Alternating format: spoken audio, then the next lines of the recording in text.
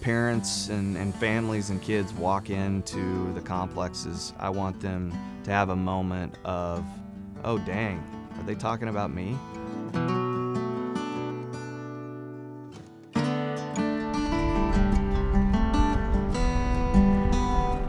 Three years ago, Blue Cross and Blue Shield partnered with the Royals to create a program called Shut Out the Stigma with the goal of shining a light on behavioral health. Now, we continue this mission by focusing on youth athletes and trying to understand the root causes of our current mental health crisis.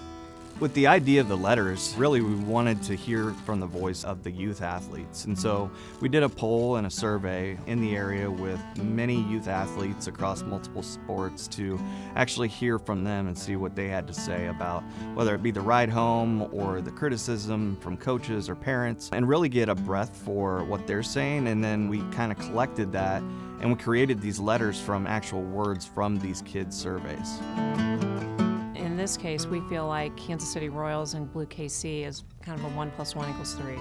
So the stretch and reach that our two organizations can have around the city and in this community, we think really maximizes the value of the partnership. The installations, I think, are hopefully things people, even if you have children that are not athletes, is that this really resonates with every parent who's working to build young Kansas Citians that are holding up the ideals of our community.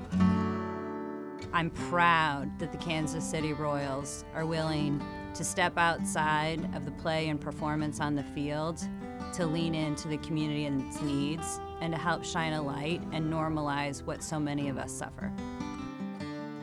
We believe that this message is going to resonate with families and coaches and athletes and youth from all sports throughout the entire area. And so that's why we want to move this around.